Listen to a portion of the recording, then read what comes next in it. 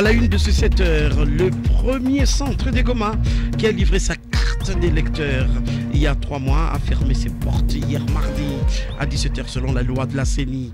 Mais déjà, le secrétaire exécutif provincial de la CENI a révélé que Goma a déjà 102% de promesses des personnes enrôlées et toute la province du Nord Kivu est encore à 91% d'électeurs attendus. Aujourd'hui, on est à 102%. Euh, c'est vraiment un record, mais euh, euh, ce n'est pas, pas du tout suffisant puisqu'il faudra qu'on aille au-delà. Ça, c'est pour la ville de Goma, pour la province du Nord Kivu, on est à 91%. Toujours à la une, le ministre national de Relations avec le Parlement vient enfin de nommer le chef de division de son ministère. C'est désormais Mouzo Mouteberoy, ancien chef de la délégation syndicale, qui va assurer le relais entre le ministère de Relations avec le Parlement et l'Assemblée provinciale du Nord Votre titre, l'OBLC, Office pour la bonne gouvernance et la lutte contre la corruption, accuse le maire de la ville de Goma de transformer le permis d'inhumation dans les cimetières de la ville de Goma en fonds de commerce. En effet, le prix du permis d'inhumation a été majoré jusqu'à 500 dollars au cimetière Kanyamwanga, par exemple, sur une simple lettre du maire, pendant que le prix reste à 18 800 francs congolais officiellement. La radio a regardé. La télévision a écouté. Le 7 heures avec euh, Zanem Net Zaidi, savoir son âge. Bonjour. bonjour à une fois ma gloire. Bonjour à tous. Le ministre Justin Bitakuira des relations avec le Parlement vient de confirmer c'est lui qui sera son chef de division ici au Nord Kivu. Il s'appelle Mouzo Mouteberoa et son ancien chef de la délégation syndicale à la mairie de Goma. Justin Bitakuira a dit que chaque division provinciale aura un effectif de 42 personnes et à la question de savoir d'où viendra le budget et comment ces recrutements sera fait, il a répliqué ironiquement que c'est du budget de l'État et le personnel de ces divisions seront des Congolais. Il est ici en conversation avec Maglor Paloukou. Chaque division a, une, structure de 42, 5 chefs de bureau, et puis il y a le personnel d'apport, il y a les experts, ainsi de suite. Vous verrez comment ça va fonctionner. Est-ce qu'ils ne sont pas pléthoriques? Non, non, ils ne sont pas pléthoriques. Euh, on a beaucoup à faire. La démocratie a ses, exigences. Et désormais, vous verrez qu'à l'Assemblée provinciale, vous aurez des experts qui siègent dans les plénières et qui vont siéger même dans les commissions permanentes. Le gouvernement central doit savoir exactement ce qui se passe à travers le pays. Et surtout notre démocratie, c'est une très jeune démocratie. J'ai appris ici que ça fait une session que l'Assemblée provinciale du Nord Kivu n'a pas siégé. C'est inimaginable qu'on puisse stopper une institution pour des raisons de, malentendus les uns et les autres entre le bureau et, les députés.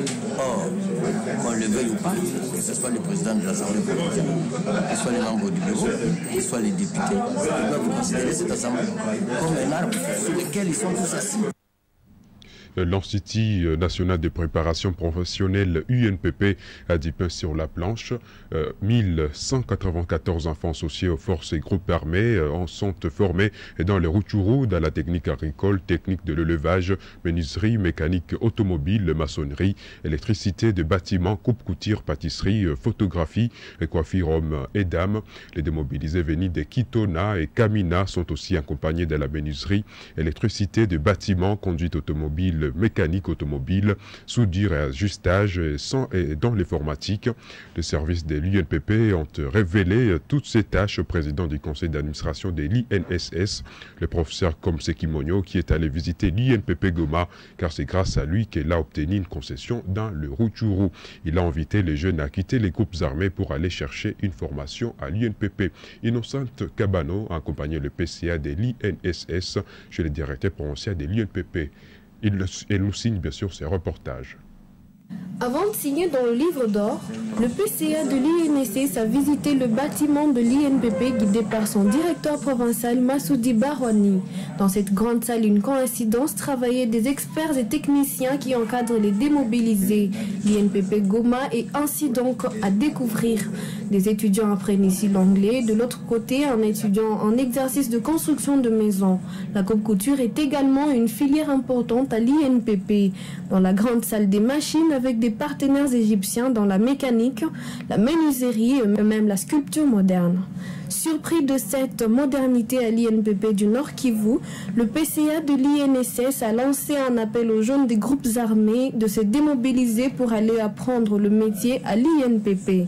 Massoudi Baroni, directeur provincial de l'Institut national de préparation professionnelle, s'est dit satisfait de cette visite et a lu en personne le mot écrit dans son livre d'or par le professeur Seki Monyo. Du chômage à l'emploi, de la pauvreté à la richesse, de l'ignorance au savoir, voilà ce que prêche le président Kabila lorsqu'il parle de la modernité. Merci INPP, merci et félicitations. L'INPP est ainsi vu non seulement comme une préparation professionnelle, mais aussi un institut national de démobilisation et réinsertion pour la paix. Merci Innocente Cabano pour ce reportage. L'audité provincial de l'Office pour la bonne gouvernance et la lutte contre la corruption au Nord Kivu dénonce les maires de la ville de Goma qui, par une simple lettre non arrêté à majorer les prix du permis d'inhumation de 18 800 francs congolais à 500 dollars au cimetière Kanyamwanga. Maître Rosta Kaongia s'avance aussi en guerre contre la rouverture du cimetière des litiges désaffectés depuis 1994, mais que le maire de la ville a rouvert l'année dernière. Du coup, les nouveaux morts sont enterrés sur les anciens. Le patron de l'Office pour la bonne gouvernance et la lutte contre la corruption précise que le cimetière Vel du domaine public de l'État ne peuvent donc pas être transformés en nos business. Le seul frais qui sont demandés sont seulement administratifs et ne doivent pas être insignifiants. Roston Kaonga insiste que les cimetières de l'État sont hors commerce, contrairement aux cimetières privés. Il est ici au téléphone de Maglore Paloukou. Cimetière iko catégorie ya mabien ya domaine public de l'État. Na zile mabien ziko eh, inalienable, hawezi haribisha au unafanya gisi unapenda ziko imprescriptible na ziko hors commerce. Hawezi hawezi fanya simtiere ya ya leta ina, unaifanya kuwa ya bei eh? Kama kama leta ina ina exigaka kitu kidogo, c'est pour des de frais eh, za madokima ya leta zenye ziko insignifiant, mais un cimetière ya ya leta iko hors commerce. Ça c'est la loi. Manake weye wa OBLC unaakize maservice municipaux banatransforme amo kukua commerce. Bon, mi nilisema vile paske nilipata malalamiko mingi ya, ya, ya raia. Watu wanakuya wanasema, unajua e, sisi kwa kuzika mtu tunalipa tuna 500 dollars, wengine wanalipa wana sijui 200 dollars, alafu tukachunguza tukakuta, tukakuta kama ni kweli. Na tukauliza tukachunguza tuka ya kwamba si cimetiere ambapo walikuwa wakilipa 200 dollars leo imekuwa 500 dollars. Kwa, nini? Nini ambayo ilituma cimetiere itoke ku 200 dollars ikuwe, ikuwe ku 500?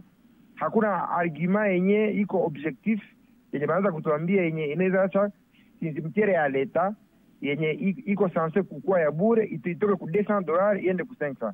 Alors sisi kama ombudsman eh, c'est-à-dire eh, tunafanya fonction ya écoute et défense des droits du peuple face à l'administration publique. Ndio maana tuli, tuliona ni vizuri kuwaambia wanaohusika ili waangalie gisi ya, ku, ya kutegemea hilo jambo na kulitatua au profit de la population de la ville de Goma. Vivons ensemble. Notre diversité, c'est notre richesse. Nos différences sont nos forces. Soyons seulement tolérants et élégants. Pourquoi nous battre? Notre diversité, c'est notre richesse. Julien Paloukou Karongia, gouverneur du Nord Kivu. Personne n'a choisi de naître dans sa communauté. Vous êtes Hutu, soyez fiers. Vous êtes Nande, soyez fiers. Vous êtes Tutsi, soyez fiers. Vous êtes Chi, soyez fiers. Vous êtes Hunde, Nyanga, Kumu, chacun qui sente fier de sa communauté. Mais il n'y a pas une communauté plus grande qu'une autre. Nous devons cohabiter tous ensemble. Et je vous dis, il n'y a pas une communauté qui chassera aussi une autre. Ce message vous est offert par l'Union nationale de la presse du Congo, section du Nord Kivu, l'UNPC pour la liberté d'expression, la cohabitation pacifique et la paix.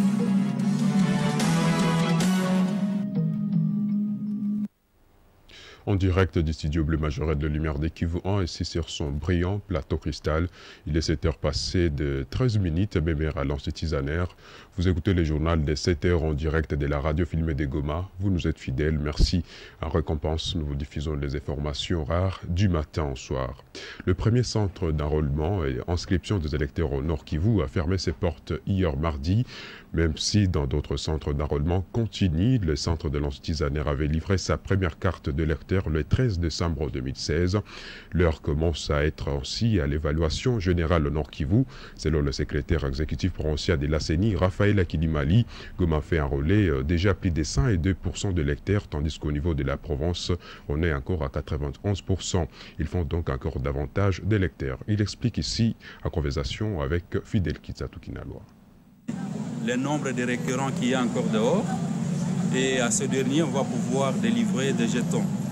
Euh, il y a la fiche F14 à compléter pour la maîtrise des statistiques et des données des gens à qui euh, on a remis les jetons pour qu'il n'y ait plus continuité d'enrôlement. C'est-à-dire on va pouvoir travailler, on va pouvoir enrôler ceux-là à qui on aura remis les jetons.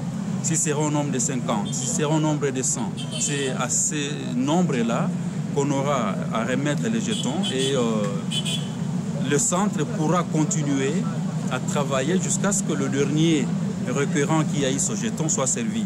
Et à cela s'ajoute, il y aura deux semaines. Les deux semaines-là sont réservées au contentieux. Ce n'est pas pour continuer à enrôler les gens.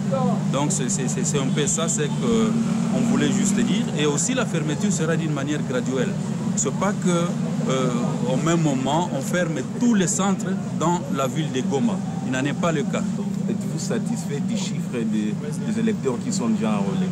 Effectivement, et ça bat le record. Vous vous rendez compte que c'est depuis euh, le 13 décembre 2016 que Zaner a produit sa première carte lors du lancement. Et avec ça, ça contribue. Quand on interroge même le pourcentage au niveau de la ville, aujourd'hui on est à 102%. Euh, c'est vraiment un record, mais euh, ce n'est pas, pas du tout suffisant puisqu'il faudra qu'on aille au-delà. 102% pour la province Nord Kivu, soit pour la ville de Goma Ça, c'est pour la ville de Goma. Pour la province du Nord Kivu, on est à 91%. Le procès des ADEF qui se déroule à Béni n'est pas assez couvert par la presse provinciale, nationale et internationale. Pour mettre Marc Avota du CEPADO, il est inacceptable que le procès commencé depuis août 2016 arrive aujourd'hui à la 92e audience avec une faible couverture médiatique. La crainte du directeur du Centre de titre pour la promotion de la paix, la démocratie et les droits de l'homme que le procès des terroristes comme les ADEF se passe dans presque l'indifférence des médias et malheureusement la vérité ne sera pas connu du grand public pour un événement d'une si grande importance où l'on juge les gens qui ont massacré des milliers de personnes. Il dénonce cette manière de priver l'information à la population et de lui priver son droit à la vérité. Omar Kavota, au téléphone de Yacine Kombikadima. Nous nous posons la question de savoir à quoi serait dû ces désintéressement, mais nous réalisons qu'il y a une certaine aussi, une sorte de campagne visant à dénigrer euh, les, efforts consentis au niveau national dans le cadre de la répression contre le crime, dans le cadre de la lutte contre l'impunité. Et il y a aussi ceux qui estiment que ce qui s'est fait euh, à Béni à travers ce procès, c'est des mascarades, c'est du théâtre, c'est cousu d'avance. C'est qu'il y a une certaine opinion qui vise à à, intoxiquer l'opinion contre ce qui s'est fait. Et pratiquement, il s'observait des intéressements. Mais aussi, il y a la banalisation de, de, crimes contre les, Congolais.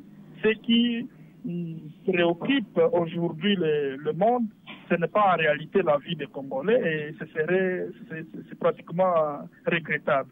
Et nous sommes en train de, de réaliser que les médias, aussi bien nationaux qu'internationaux, de grande réputation, en tout cas, sont très absents dans le cadre de couverture de, procès.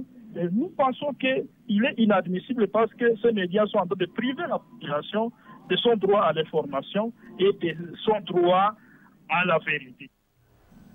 Le premier garçon des Goma, devenu vice-ministre, est arrivé hier mardi, accueilli par le membre de son parti politique, Edouard Kiove Kola, vice-ministre de la Justice, membre de l'INC de Vital Caméré, a fait son comeback en indiquant qu'il vient faire le monitoring des prisons centrales et amigos du Nord et Sud Kivu. Élu député national dans les territoires des Loubero, le ministre Edouard Kiove Kola est un ancien de l'Unigom, un vrai fils du quartier Mabanga de 44 ans, dont la maman est une commerçante très bien connue dans notre ville. Edouard Kiove Kola plaide aussi pour une justice juste, impartiale et équitable pour stabiliser le pays. Ornélie Moukekwa nous raconte l'arrivée du vice-ministre de la Justice, Maid Ingoma, qui a un nouveau langage de faire le monitoring dans nos prisons. Suivez. C'était vers 11h que le vice-ministre de la Justice, Edouard Kiové, a atterri à Goma, un banc de foule de membres de l'INC pour se licencier en droit de l'Unigom dont la vie semble avoir été une ligne décisive pour réussir. Ce moment qu'il attendait à l'aéroport nous a fait des confidences. Kwa.